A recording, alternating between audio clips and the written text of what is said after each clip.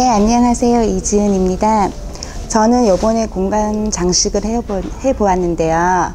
어, 자연에서 이제 볼 수 있는 나무의 거친 질감과 아름다운 선을 이용해 가지고 식생에 가까운 어, 데코라티브적인 공간 장식을 시작해 보았습니다.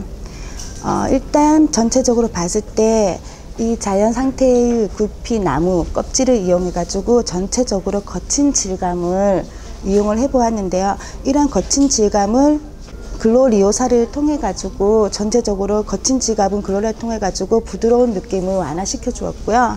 그 다음에 글로리오사의 이제 선적인 결을 사용해 가지고 운동성을 강조시켰습니다. 그리고 이제 아스파라거스의 이제 털 질감, 글로리오사의 붉은 화려한 색감을 이용해 가지고 전체적으로 화사하고 화려한 그런 공간 장식을 제가 한번 만들어 보았습니다.